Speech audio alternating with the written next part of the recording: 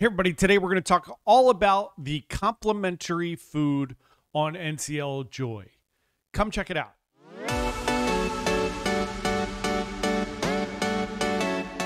Hey everyone, John here from Byte Size Cruises. Welcome back to the channel.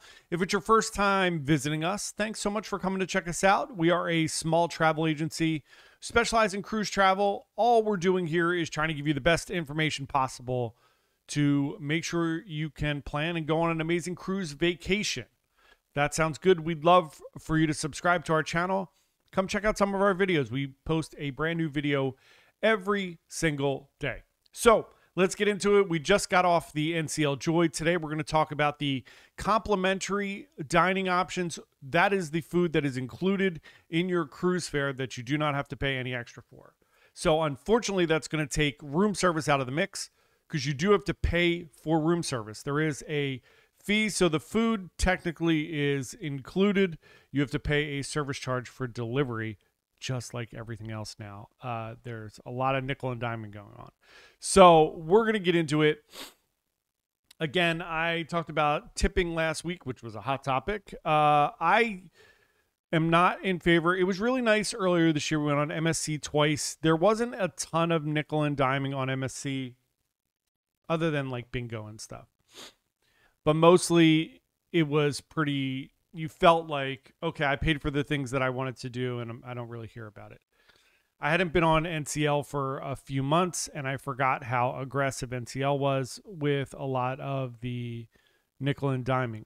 And not that they're the only ones that charge for room service because everybody does now, but it just uh it just popped into my head. So Let's talk about the complimentary dining or things that are included. Again, just to go back to that real quick, my thought process is I would prefer to pay a little bit extra for my cruise. I know this this is maybe could be true for some of you and not true for some of you. I would prefer to see the total cost up front and pay that total cost up front and then not get nickel and dime. By nickel and dimes, I'm not talking about specialty dining or excursions. Uh, those are extra. I get it. I'm talking about once I get on the ship, if I didn't want to spend any more money, um, I don't want to feel like it's like, oh, well, I have to pay extra for a can of soda, but I can get regular soda. Or I get, you can order room service, but it's a, you know, $10 charge. Just charge me an extra 50 bucks and I won't care. And then I can order room service. So let's talk about it. It's uh, complimentary dining on the NCL Joy. We had a great time on the cruise. It was very crowded. Um, I don't love how crowded it was. There was a ton of, I mean, there's nothing you can do about that. It's just uh, busy times and uh, cruising is exploding, which is great for everybody.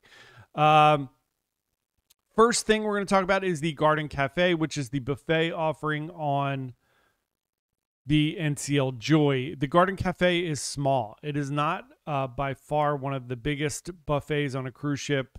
I run into this a lot with Oasis too. Like if you go on the Oasis class ship, sometimes the buffet is not as big as you would think it would be for a ship that size. Same thing with the Garden Cafe here on Joy. I didn't have a hard time getting food.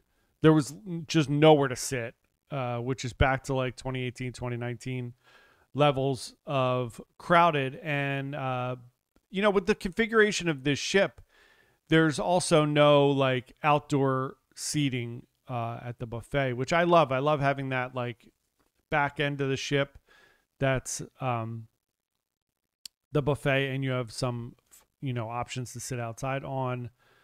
The joy of the buffet is in the front of the ship above the observation lounge, so there is no room there. However, it is nice. You can grab your food and go down to the observation lounge if you need to.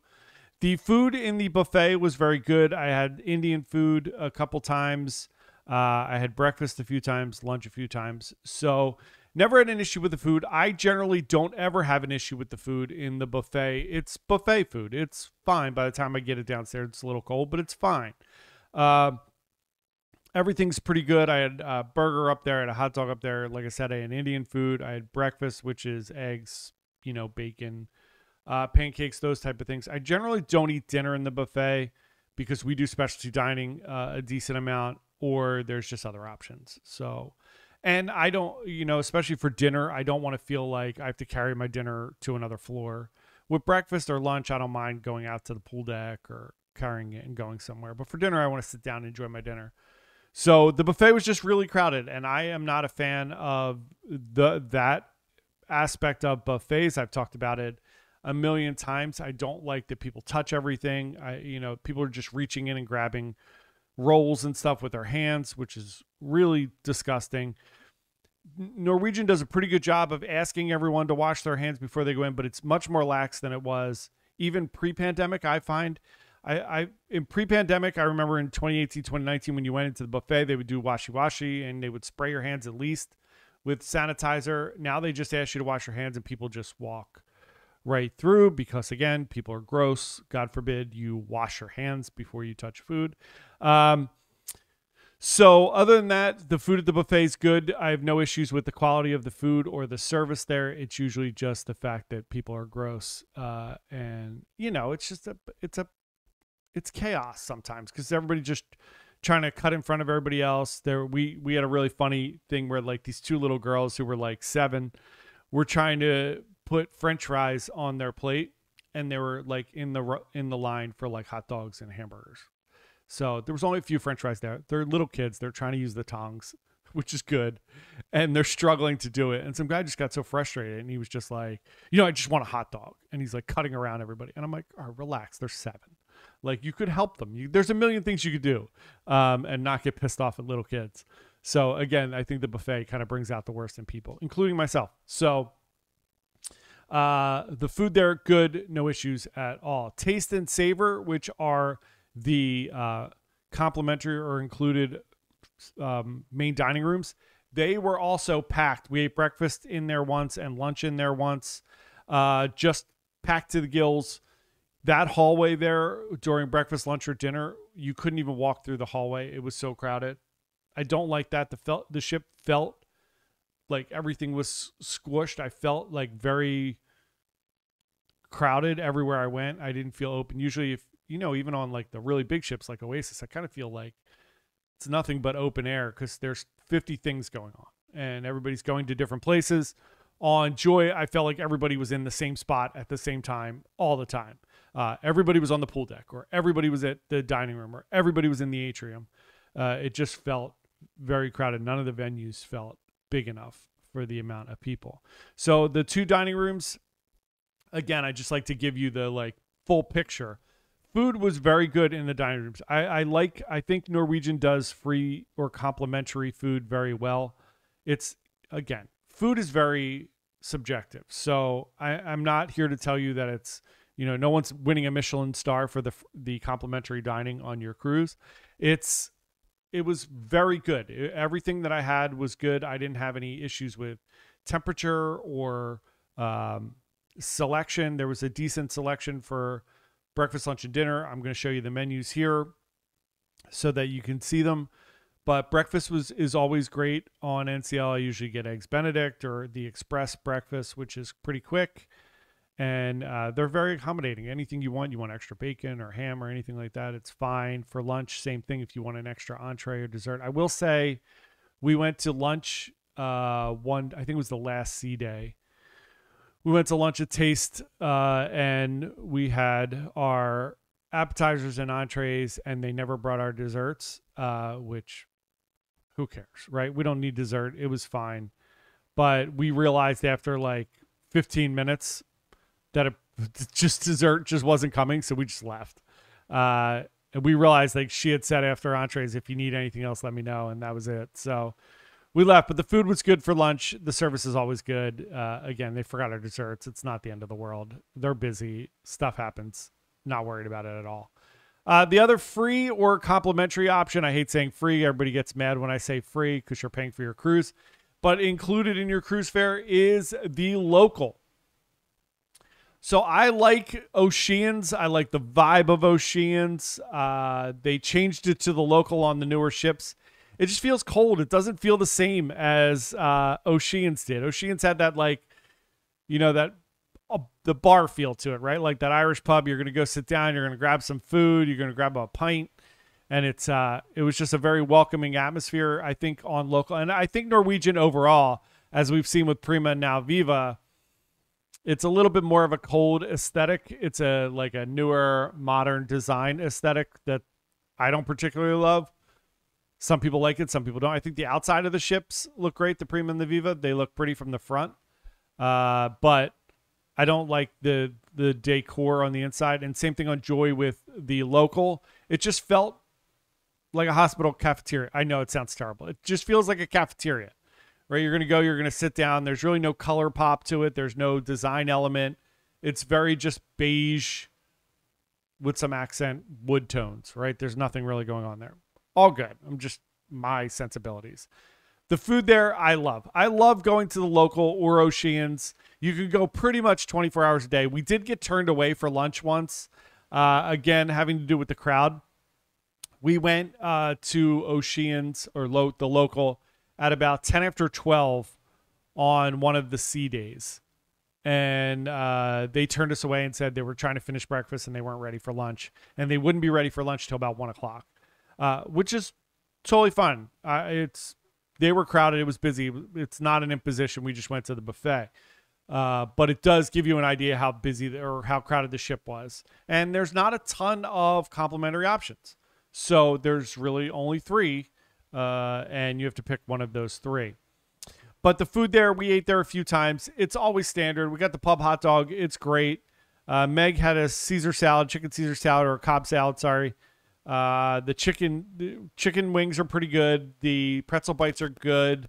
Generally, they don't come out hot. Just so you're aware, I, every time I've gotten them the last couple cruises, they've come out cold. Not like room service, but like cold. Uh, like they're just sitting in the back and somebody just puts them in a bowl, and uh, they give you hot cheese with it, which is fine. They're pretzels. It, I don't need them to be hot. I'm just making a commentary on it. Uh, I've tried a bunch of other things there. Everything generally is good and it's easy. I ate breakfast there one day. I just had eggs and uh, bacon and an English muffin, and it's good. Breakfast is good there. Lunch is good there. Late night food is good there. It's a great place to go if you go to the social at night and you hang out a little bit at the club and then you go get some food. It's like that good hits the like diner vibe that you would be used to after the bar. All right, so two other complimentary restaurants are the Manhattan Room so Manhattan Room has the same exact menu as Taste and Savor. It's just in a little bit more of a grand uh, dining room. So my opinion on uh, the Manhattan Room on this particular cruise ship on Joy is it's very different than all of the other Manhattan rooms. Most of the other Manhattan rooms or the Tropicana room uh, that it's called on the Getaway have some type of singing or dancing in there in the evening. The dancers will come in and do some performances, or they just have a big dance floor in there. This ship, because of the retrofit uh, from the Asian market, does not have that. So it's just a bigger dining room. So it looks nothing like the other uh, Manhattan rooms. It does when you walk in, it looks a little bit like it, but it doesn't have that grand scale. Doesn't have the, the dance floor in the middle. So food is the same as the main dining room. The menus are exactly the same. So it's good there. It's just a change of scenery if you'd like to eat somewhere else. The last one I'll mention where they do have complimentary food is the Observation Lounge. So in the Observation Lounge, uh, morning, afternoon, and evening, they do have some snacks. It is not by any means full meals, but for lunch, they did have sandwiches out, little uh, finger sandwiches, some meats, some cheeses, fruit. In the morning, they have oatmeal, different fruits, pastries out. And same in the evening, they had some assortment of meats and fruits and different sandwiches. So those are all great. It's a great spot if you eat light for any meal or you just want to grab something small. It was never crowded. There are coffee machines in there as well as the Vitality water machines. Uh, so you can go in there and get stuff to eat and drink up until about 10 o'clock, 10:30 at night, which is really nice. Um, these are your complimentary options. All the food's good the the wait was really long on a lot of them, and the ship was really crowded, and the Garden Cafe is a little bit small. Other than that, the quality and service and the food is all good. Sometimes you just have to wait for it. So that's the complimentary dining on the NCL Joy. Let me know if you've been on Joy, if you saw the same things that we did. We watched a lot of videos leading up to this. Uh, so my expectations were very low, which is good because then I, I thought everything was perfectly fine. So let me know what you think. Uh, we again, we'd love for you to subscribe. Come check out our channel. We put out a video every single day. Thanks everyone, and we'll see you tomorrow. Bye.